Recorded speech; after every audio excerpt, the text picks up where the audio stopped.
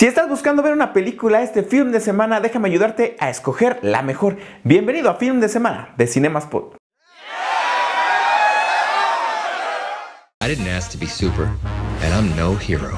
But when you find out your worst enemy is after your best girl, the time has come to be a fucking superhero. Este film de semana voy a hablar de la película Deadpool del director Tim Miller. Eh, uno esperaría ver la película clásica de superhéroes, pero no. Deadpool no es así. La película aborda la vida de Wade Winston Wilson, mejor conocido como Deadpool, el cual aparece en los cómics publicados por Marvel. Apareció por primera vez en el New Mutants volumen 1, número 98 de 1991. Desde entonces el personaje ha protagonizado varias series en curso y comparte títulos con otros personajes, como Cable. Deadpool es famoso por su naturaleza irreverente y por su tendencia a romper la cuarta pared, lo cual es utilizado por los escritores para un efecto humorístico. Deadpool es reconocido por su humor irreverente y por supuesto por romper la cuarta pared, es decir, hablarnos a la cámara. Esto se utiliza por los escritores para hacerlo más humorístico.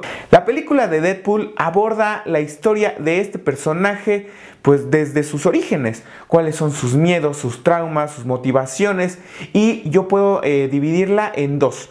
Por un lado nos narra la venganza que él tiene para esas personas a las cuales le tiene mucho rencor y por el otro lado la historia romántica en la cual quiere salvar a su chica y se parece un poco a, a La Bella y la Bestia si lo piensan. Al terminar de ver la película de Deadpool, a mí sí me quedaron muchas ganas de seguir investigando sobre el personaje, comprar sus cómics, comenzar a leerlos y por lo que vi en la sala de cine, que eran muchas carcajadas y gente pasándolo bien, puedo asegurar que es una de las películas más divertidas de la década. Un punto a su favor es que Deadpool dice todas esas cosas que cuando veíamos las películas de superhéroes eh, pensábamos pero no nos atrevíamos a decir. En conclusión, en un mundo en el cual las salas de cine están abarrotadas por películas de superhéroes, Deadpool se convierte en la bocanada de aire que todos necesitábamos para agarrar estos temas con humor.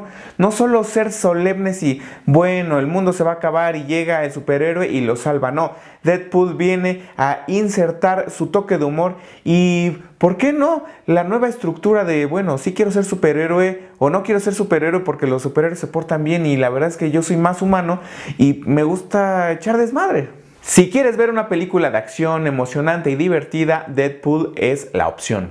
Y voy a comenzar a pues darle una calificación a las películas que empiezo a ver. Esta es la primera que le vamos a poner una calificación y le vamos a dar un XD. Sí, un XD. Porque el humor de Deadpool se lo merece, por supuesto.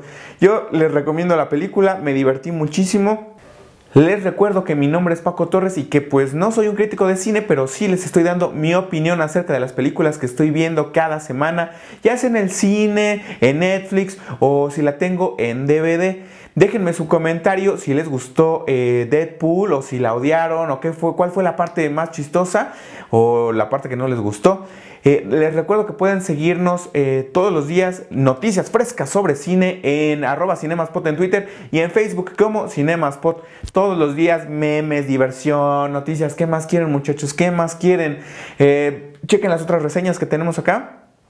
No se las pierdan cada semana, no hemos fallado. Y recuerden que si quieren encontrar la mejor película, pues ¿dónde la van a encontrar? En Film de Semana de Cinemaspot. Nos vemos la próxima. Gracias por darle click al enlace. Suscríbanse, suscríbanse.